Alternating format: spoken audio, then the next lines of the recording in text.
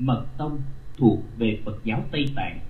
Từ Tây Tạng, các sư thầy đem bùa chú truyền sang qua các nước Thái Lan, Miến Điện, Campuchia, rồi truyền sang qua Việt Nam, biến cho Việt Nam có một số thầy bùa, thầy ngải chuyên trị bệnh, trừ tà ma, hiểm quỷ vân vân, tạo ra những tư tưởng mê tín lạc hậu.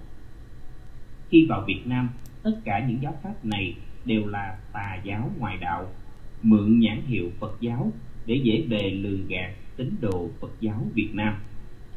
Những kinh sách này thuộc về văn hóa Phật giáo Trung Quốc, nhưng từ xưa đến nay, Phật giáo Việt Nam lại lấy đó làm văn hóa của mình. Thật là một điều sai lầm và làm nhục nhã cho nền văn hóa nước nhà. Đem văn hóa mê tín của Trung Quốc làm văn hóa của mình khiến cho nhân dân Việt Nam mê tín lạc hậu mù quáng, làm hao tiền tốn của vì cúng bái cầu siêu cầu an, đốt tiền vàng mã, thật là vô minh, không sáng suốt để rồi tự biến nó thành một phong tục tập quán lạc hậu, mê tín, truyền thống của dân tộc Việt Nam từ xa xưa ông bà truyền lại cho con cháu đến ngày nay. Thật là một điều sai lạc hết sức. Nhưng bây giờ muốn cho nhân dân dẹp bỏ thì không phải dễ, không phải trong một ngày hay hai ngày mà bỏ xuống ngay liền được. Qua các triều đại, người Việt Nam rất sáng suốt về tôn giáo, biết rõ tôn giáo là một nhu cầu cần thiết cho tinh thần của dân tộc.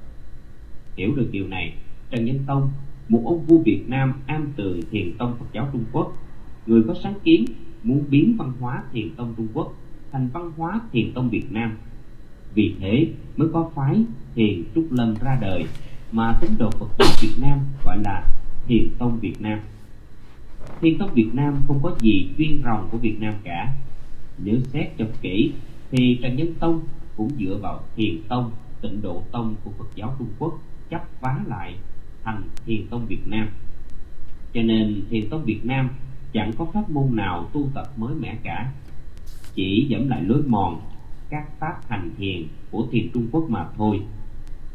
Tại sao Trần Nhân Tông là một nhà vua anh minh mà không lấy kinh sách nguyên thủy của Phật giáo triển khai thành thiền tông Việt Nam? Có lẽ lúc bấy giờ kinh sách nguyên thủy của Phật giáo chưa được truyền sang qua Việt Nam. Chỉ có ba tạng kinh bằng chữ Hán của Trung Quốc.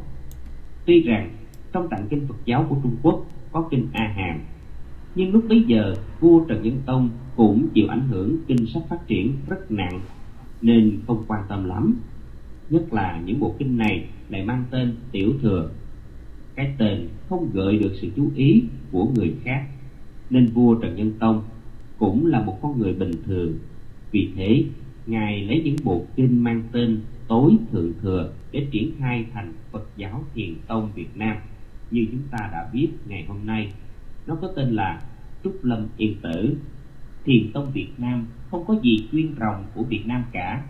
Nếu xét cho kỹ thì Trần Nhân Tông cũng dựa vào Thiền Tông, Tịnh Độ Tông của Phật giáo Trung Quốc chấp vá lại thành Thiền Tông Việt Nam cho nên thiền tông Việt Nam chẳng có pháp môn nào tu tập mới mẻ cả, chỉ dẫn lại lối mòn các pháp hành thiền của thiền Trung Quốc mà thôi.